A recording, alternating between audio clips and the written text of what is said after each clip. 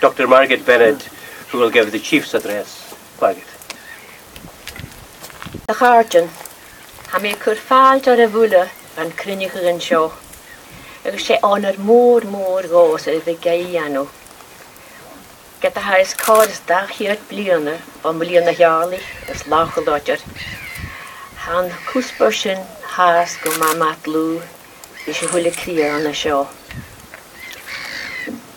Friends, I'm honored to welcome you all as friends who share the values of our forebears.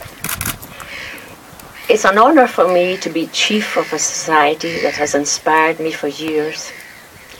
It was such a surprise that I, as the society might tell you, thought long and hard about it. I thought of Professor Blackie, Mary McKellar, of the names, the uh, great names, McBain, Mackay, Mackenzie, names that have lit my path over years. I would have to admit that the first time I heard of the Gaelic Society of Inverness was not in my schooling in Scotland, but as a student in Canada. When my professor of folklore said to me, You're going to be a folklorist, I take it you've begun to read the transactions of the Gaelic Society of Inverness.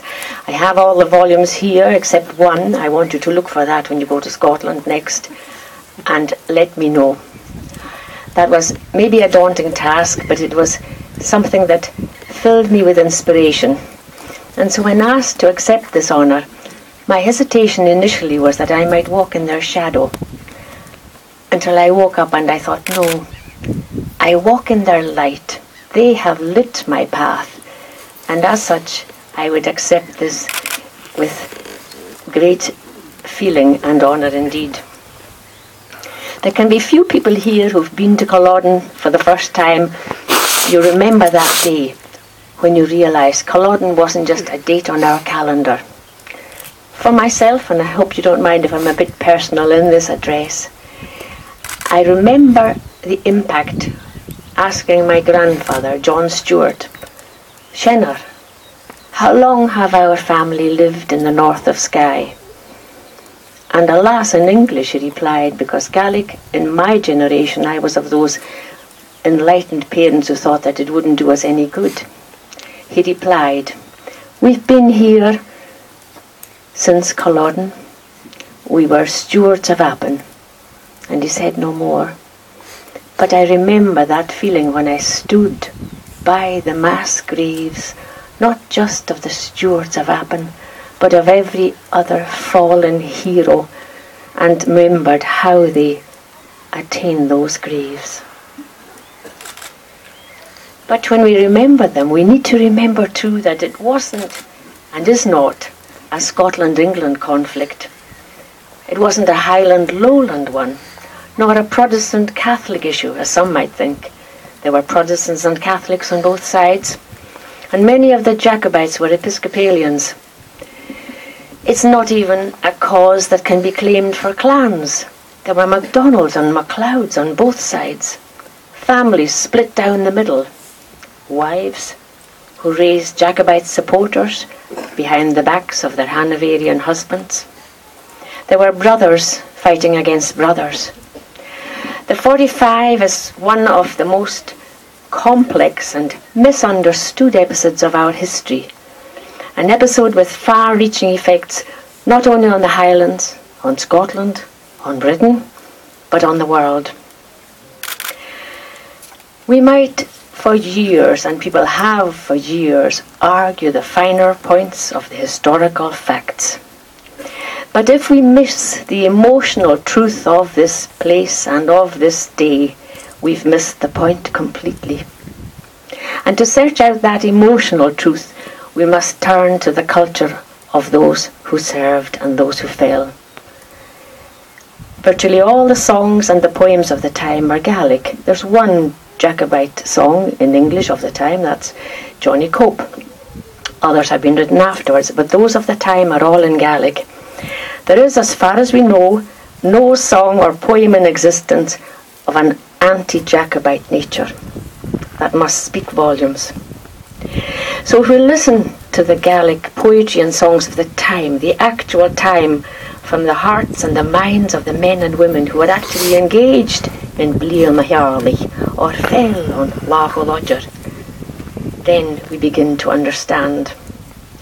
And unlike many wars that are fought today over land or resources, gold in days gone by, oil today, this was a cause that was rooted in a recognition that the rich culture of the Gael was under threat. It might be lost forever if the people themselves did not take a stand. One completely unknown woman in Edinburgh, a Gael, addressed her husband, Alan. Elan, Elan, Satan cattle, Han sé germ san lá glasig a griannig a lechgin sa a bhm hí loch nam brechken ho go a hí ho go a man ho go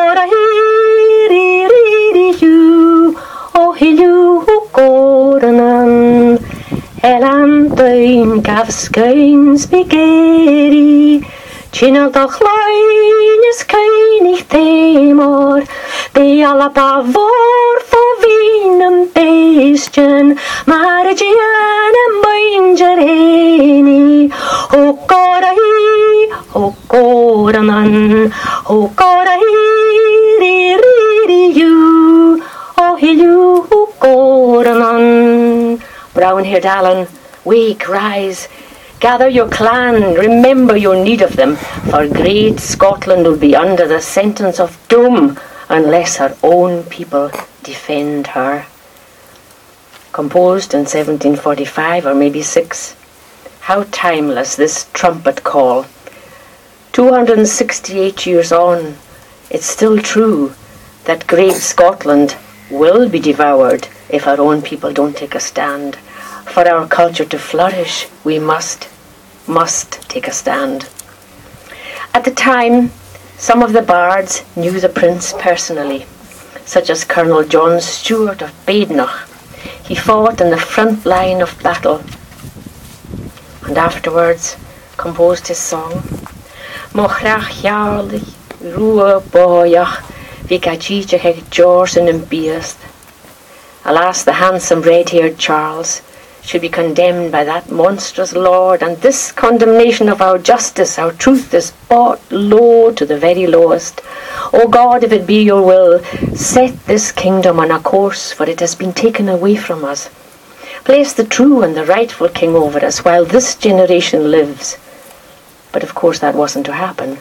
And at the end of the day, after the battle, when he saw the reality for himself, his last verse, and I think that although the words carry emotion with the tune, then I think that emotion can reach where it's supposed to reach. Mochrach von a corcileal and a line is legion o tau gan histju gan leintjen gan alach ag hen awns na tain Kuchapio yun jeskeli sa pe brige ge hele na loing or na wigs an tol hein yin is chachane gat rebel di rain alas the bright white bodies are lying on the moorland here without coffins without shrouds without even a burial but holes in the earth those that have survived are scattered, or they're packed up in ships, crushed together. Nobody could fail to be moved by what he described. And yet there were nameless widows, orphans, mothers, bereaved men and women who lived. We need to teach our children this is what happened. Not in ways of numbers, but in the sense that this was one view of humanity. I'm forever, I will forever remember a newscast that came out, and all of us lived through this when the massacre in Bosnia, the Srebrenica occurred, and the news flash, and the gunfire, and the horror of that. Every man, brother, husband, son, butchered, women raped. And my own son, who was 22 at the time, turned to me and he said, as he gasped, he said, Verhavat maher smogavraher, vi let mochinur. Sing it, Mom, sing it. And translated it means, You have killed my brothers. You've murdered my husband. You've even stripped and raped our women. But yet, had the cause won, the pain might be less. And in her words, it's this.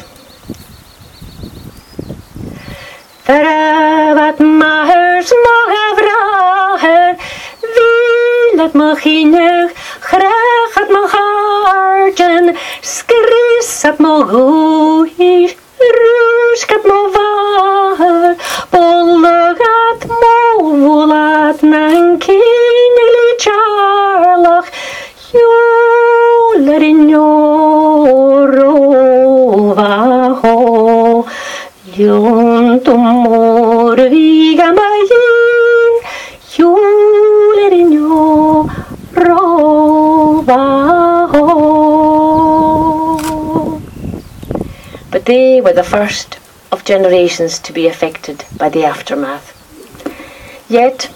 this is not a cue for us all to fall into that role of victim. Instead, we can turn it into a time of reflection on the impact of that time on our language, on our culture, on our values. It was not only those who followed the prince who were affected by the government's act of proscription, for example, for no matter whether they fought as Jacobites or Hanoverians, they would have to denounce all weaponry and instruments of war, and their society too would be forever changed. But least expected was the total ban on Highland dress. The humiliation, the indignity, the stripping not only of a tradition, of an identity, but the only clothes they knew how to wear. Yesterday was Good Friday. Lana Kesa, Marachanishin and Gaelic, the crucifixion day as we say in Gaelic, when Christ was stripped of his garments, the dignity that was recognized to his companions, to his mother, he was stripped of that. And it's worth taking a moment to remember in that context too what the words of the actual act said. From the 6th, pardon me, this is 1746, September. From the first day of August, 1746, no man or boy within that part of Britain called Scotland, other than such as shall be employed as officers and soldiers in His Majesty's forces, shall on any pretext whatsoever wear or put on the clothes commonly called Highland clothes. That is to say, the plaid, the philibeg, the little kilt, the trews, shoulder belts, or any part whatsoever that peculiarly belongs to Highland garb. By the way, that's the socks or the, the, the woven footwear. And no tartan or even partly coloured plaid or stuff shall be used for greatcoats or uppercoats.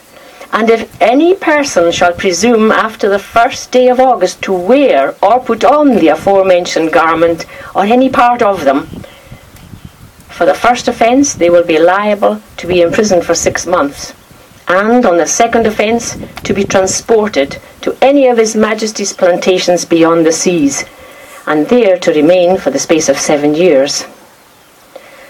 It's the ultimate indignity to be stripped of your clothing.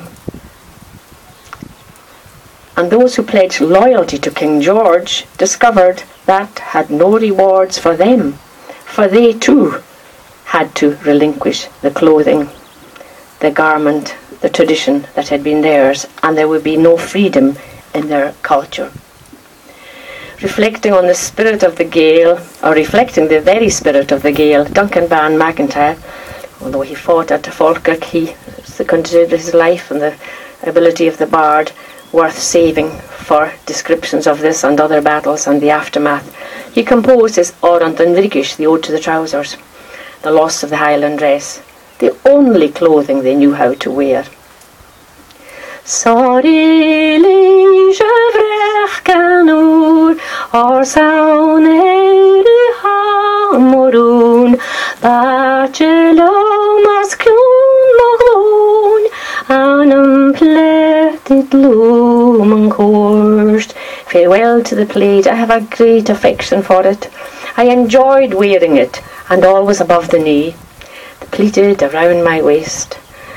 He was probably the first and the most recognised who confidently wore it after the Act was repealed, as he and Mary, his Mary Bhàn Òg were seen in Edinburgh, not just Duncan wearing his plaid, and they waited a long time for that, but Mary, for good measure, sporting a red cloak that you might not miss them.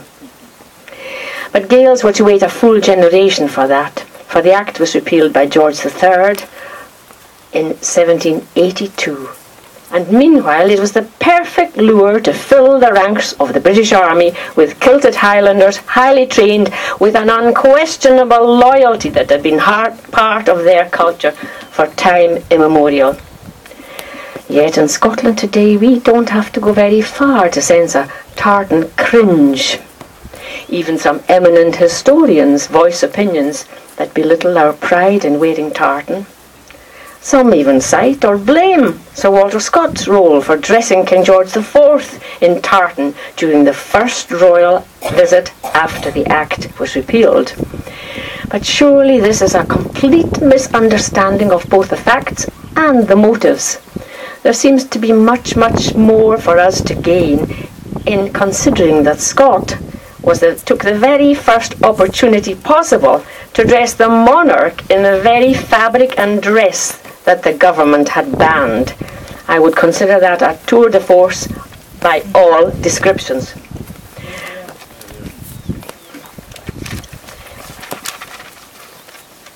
And this is our cue also to reclaim that confidence and not to cower and continue to cower behind the blame. Culloden cast a huge shadow on all our people right across the world. But as I reminded myself earlier, where there's a shadow, there is also light. You cannot have a shadow without light, and we can walk in that light. As this year we celebrate Homecoming Scotland 2014, we welcome thousands of returning Highlanders, Lowlanders, Jacobites. We, many will wear tartan, and despite the fact that generations have passed since their forebears left the old country, they will tell us that still the heart is Highland. As they speak of their Highland forebears who were Gaelic speaking, they regret the loss of a language, yet today there are apparently more Gaelic learners in North America than in Scotland. As we share with them the diverse ways of celebrating Highlandness, it's time for Scots the world over, and especially in Scotland, to pay more attention to what's behind their celebrations. In attending this ceremony of remembrance for all who fought and died in Culloden 268 years ago, we remember not only the individuals who died, but with them the demise of traditional values of the Society of the Gael. In gathering together here, we reaffirm our commitment to those values honesty, loyalty, integrity, trust, fairness, faithfulness, justice, devotion. Values that are endangered in modern society and in some areas totally lacking. And if you go to any great Highland Games gathering across the world, whether it's Grandfather Mountain, wherever, before you start to comment on what you see, think on it that these people are there because they believe in those values and they struggle to attain them today and to find them. There they can be surrounded by them. And it's in that light that we can go forward in the hope that the language and the culture that the Jacobites fought for will be valued again and flourish as it did in the past.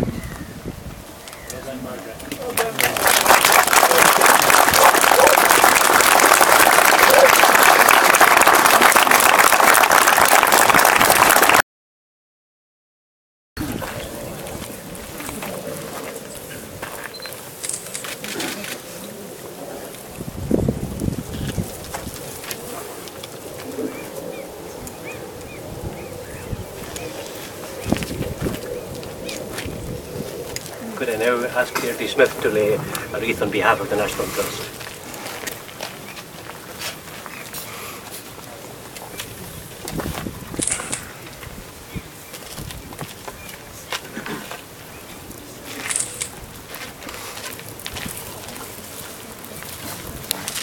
Those of you who now want to lay a wreath on behalf of whatever group you represent, I'm going to ask you to come forward. Once you've laid your wreath, to come up to the microphone and announce who you're representing. We don't allow anybody to make a speech, merely to mention who you're representing here today.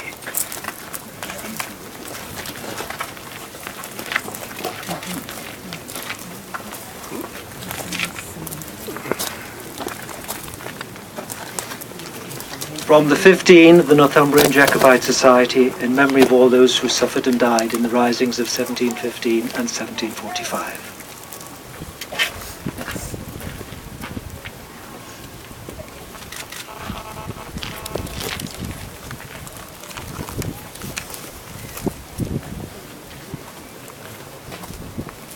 in memory of all those who fought and fell, and in honour of their bravery, from Count Peter Pininski and all other descendants of Prince Charles Edward Stuart.